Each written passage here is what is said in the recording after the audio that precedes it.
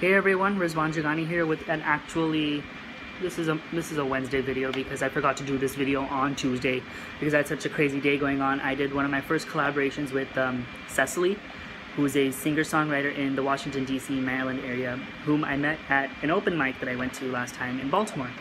And so we did a little viola vocal rendition of Send My Love by Adele, which I'm probably going to be posting sometime this week.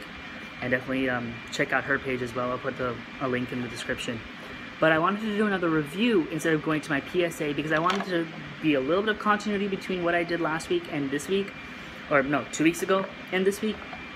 So I'm actually reviewing the second component to my mic amplified electric viola setup that I use on Aguila. And so this is the the Line 6 G30 relay and I got this from Guitar Center in Plano, Texas. Um, I would definitely recommend anybody to go there. Their service is amazing. And an extra special shout out to Kris, who helped me pick out this system. I actually really, really like it. So, the way this works is it's two components. This is the main interface. It has two switches on it. It has the distance one, which is goes up to 30 feet, if you feel like you might be farther than 30 feet, um, there's one above it. I don't remember the name of it, but I know it goes up to about 100 feet. Um, but this seems to this works for me. Uh, it goes up to 30 feet maximum distance. This is the and um, this is the part that goes into a soundboard at a in an event hall or a DJ's uh, system for like sound and whatnot. And then this will connect to your wireless part via the signal input right here. There's six channels. Right now I have it set to one. The one on the the other part is also set to one, so it's a one-to-one -one thing. And that way you know you're going to get sound. The way this works is you plug a DC 9 volt cord into this and you plug it in and it automatically turns on. Then you take a quarter inch jack and plug it into the side where it says output into and then plug it into the DJ setup or the soundboard setup wherever and you have the interface working. This then, once this is ready, connects to this. This is the wireless component that usually you'll see most people have on their waist. That's where I wear mine. Uh, Lindsey Stirling wears hers on her waist too. There's another um, uh, YouTuber. She's a makeup artist more than anything, but she's also a really good violinist named Be Unique, and she uses this exact same thing. Um, I saw some of her videos scrolling past certain things um, just to see her performance stuff, and she uses this uh, as well. And so this goes to your waist, and then what you do is you take quarter inch cable and you uh, plug it in here uh, into this, and then the other part plugs into your instrument. And depending on how long your wire is, you may just have to maneuver it around a little bit. This little baby is powered by two AA batteries. Turns on, turns off, obviously. And um, it has two lights on here. One that says uh like shows the power of your battery and one that shows it's connected. That's a blue light. If it's connected to this and then you can start like plucking around and seeing if uh, it works or not.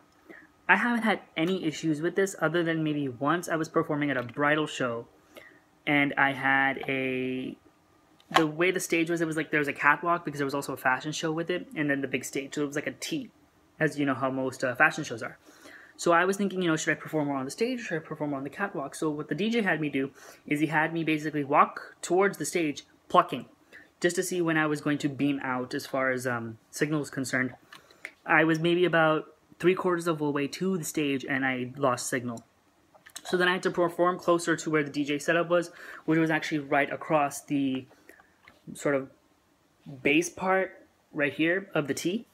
And so I sort of performed halfway in the catwalk, and it, it worked. I didn't have any issues. Um, I didn't uh, lose signal or anything. Um, the only thing I had issues with was with the, the actual pickup, which was I was using a different model. Um, I would probably give this a 4.5 out of 5. Um, I just don't like it's made out of plastic. Um, uh, unless you're throwing it around, obviously it should last, but you know, I was hoping that for the amount I paid for it, I paid almost 200 for this. I was hoping that, you know, it would be made out of metal, which the a higher end one above this is made out of metal. And then maybe like sort of the distance thing. The 30 feet one I haven't had issues with. I've performed at, um, I performed in like halls, I've performed in uh, little art galleries and areas where I've been sort of close to the interface. So I haven't had too many issues with um, losing signal, but that would probably be my only thing. I really like this thing. Um, it works for electric guitar. I think that was what its main intention was. The picture on the box shows um, electric guitar, but it also works for viola, it works for violin, as Lindsey Stirling and Bunique uh, do as well.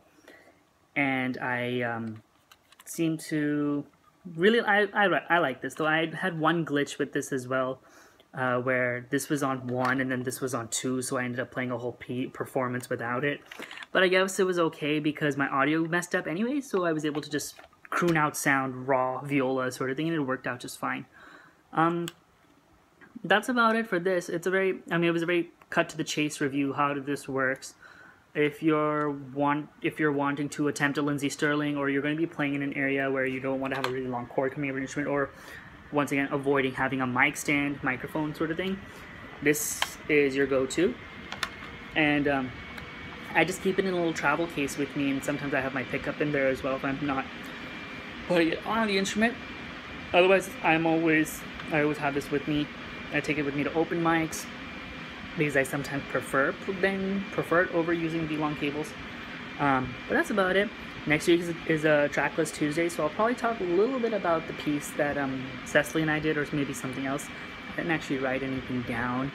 I mean, she just wrote down lyrics, and I kind of just improvised a viola part to accompany her. But uh, can't wait to see how this video comes out. Actually, I just finished editing it, so it's gonna look really, really good. I just have to put a, put together some B-roll for an introduction, and that's about it. So until then, happy Tuesday.